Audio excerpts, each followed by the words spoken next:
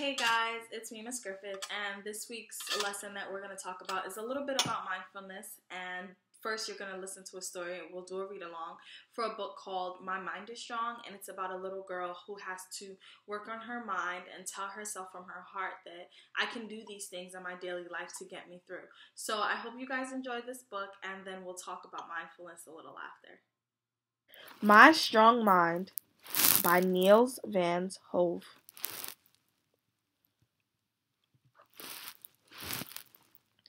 Kate is a sporty and happy girl. She does well at school and has many friends. But like every girl, she faces difficult situations at home or at school. Sometimes things just don't go as she like. She is slow to get ready for school, making her parents grumpy with her. All her friends can do cartwheels, but she cannot. She is afraid to stand in the front of the class to do show and tell. Her friends sometimes say mean things.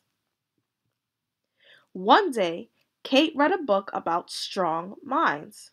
She learned that everyone has their own brain and can make up their own mind. You can teach your mind what to do so it can tackle any challenge with a positive attitude. When you practice, your mind gets stronger and smarter. It is okay to try and fail because over time, your mind can help you get better at anything you want. Kate decided to use her mind with all her challenges. That evening, Kate wrote a list of all her tasks she had to do in the morning get dressed, brush your hair, brush teeth, pack school bag, and many more things. The next morning, she told her mind, do one task at a time until the whole list is done. Kate focused her mind on her task list. One by one, she finished the tasks and ticked them off the list as she worked through. She was ready for school with plenty of time. Her parents were very surprised. When Kate arrived at school, her friends were doing cartwheels. Kate never joined in because she couldn't do a cartwheel and she did not want to fail in front of her friends. Kate told her mind, It is okay to try and fail because every time I try, I get a little bit better. She tried her hardest, throwing her hands onto the ground and lifting her legs, and she almost got the cartwheel right. Her friends giggled, but Kate felt good that she had practiced. She told her mind, Well done. That day, it was her turn to do show and tell in front of the whole class. Standing before a big group always made Kate very nervous. She told her mind, It is okay to feel a bit scared. You can do this. Kate closed her eyes and imagined how she would deliver a great show and tell, speaking clearly, making eye contact, and smiling more. Because she practiced in her mind. She wasn't so nervous in front of the class and even enjoyed her show and tell. During lunch, she sat around with her friends in the schoolyard. Some of her friends started to be mean to her. Kate got very angry and felt like screaming. Then, Kate told her mind, count to ten. That helped her calm down so she didn't feel like screaming anymore. Kate told her friends in a calm voice that she didn't want to be treated like that and then walked off.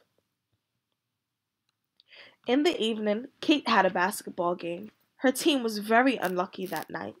They were missing some of their best players and hardly had any ball went into the hoop. The other team had many strong players, and they were way ahead in the score. Kate was tired and felt like giving up. Then she told her mind, Keep trying your best. Kate kept running and running as long as she could.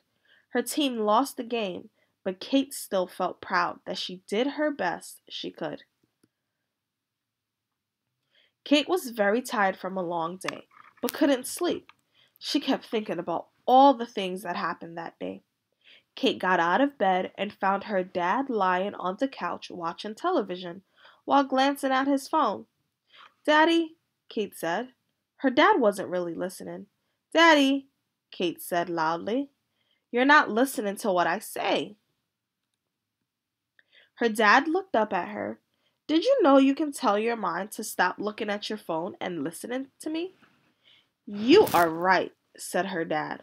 I'll put my phone away and concentrate on you. Can't you sleep? Kate shook her head. Let's play a game to relax called Rock the Boat. Kate and her dad both lay down on their backs and put a little paper boat on their tummy. They listened to some quiet music and took deep breaths. Breathe in. One, two, three, four. And breathe out.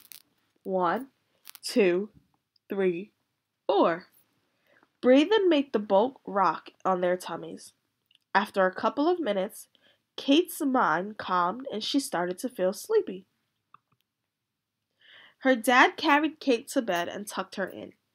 Kate asked, What were your three favorite things of the date, Daddy? It made Kate feel good when she heard all the positive things her dad had to say about his day. Well, watching you do your best at basketball was surely one of my favorite things of the day, said her dad. This made Kate feel happy. Kate fell asleep to her dad telling all his favorite things, and her mind grew just a little bit stronger that day. Hey, I hope you guys enjoyed the story and I hope you guys learned something really useful from it. So let's go ahead and talk a little bit about what are mindful mantras and what's a positive attitude. So we are going to break that down by what is mindfulness, what are mantras, and what is a positive attitude. So, first, let's start with mindfulness. Mindfulness is basically paying attention 100% to something, to someone, or yourself. This includes paying attention to your body. How do you feel? Does anything hurt? Your mind. Is your brain tired? Do you have a lot of thoughts going on up there? Your breath. Are you taking fast, breaths? Are you taking normal breaths? Are you breathing fine? Is it, you know, you feeling a little anxious or something? And also paying attention to your heart. How do you feel? What is your emotions like today? So that's called being mindful. Being mindful is to be mindful of everything that's happening with you or someone else or something. It's not just paying attention to one part, it's paying attention to everything as a whole. Let's do mantras. Mantras are my favorite, and I love them so much because mantras can be so many different things. They can be daily affirmations that you tell yourself, they can be phrases or chants that we tell ourselves just to keep ourselves positive, to help ourselves feel motivated. It's something that we do so that we can motivate ourselves, so we can be intrinsically motivated and not from external factors. And now you can have a mantra that says, I am okay. So when you feel overwhelmed, you can literally repeat to yourself, I am okay over and over again. And that can be a mantra. You can say five different things. I am okay. I feel good. Today is going to be great. And that can be your mantra. So they can be many different things and they can be specific to you and whatever you want them to be. And that's why I love them because they're very personal. Lastly, a positive attitude, which we saw in the story. A positive attitude is just a mindset to see the other side of things when your situation is not so good, when something bad might happen, you say to yourself, okay, this bad thing happened, but what's the other side of it? What is that good? Your attitude is the way you think and the way you react to things. So if you're saying, oh man, I lost my favorite pencil and I am so angry about it, how are you going to react? How are you physically going to show that? What is your attitude going to say? Are you going to tell yourself, that was my favorite pencil and we had a lot of good times together. We took a lot of great tests together. We took a lot of great quizzes together. Thinking about the good things, are you going to be mad and upset and angry that you lost that pencil? And think about your attitude and your behaviors as one. A quote that I want to leave you guys with is Write it on your heart that every day is the best day in the year. Every day is a new day. And although something bad might have happened yesterday, today is your day for something good to happen. There is a good in every day. Our goods can simply be, I woke up today. That is a great. Our good can be, I was able to have breakfast today. Our good can be anything as I was able to smell the fresh air. There is a good in every day. We just have to force ourselves to find it, to think about it, and to look for it. So I hope that you guys use this, you practice mindfulness, find yourself some mantras that you like, and to remember that every day is the best day in the year, and you have to make it that for yourself. So you guys stay safe and stay well, and I'll see you guys next week. Bye.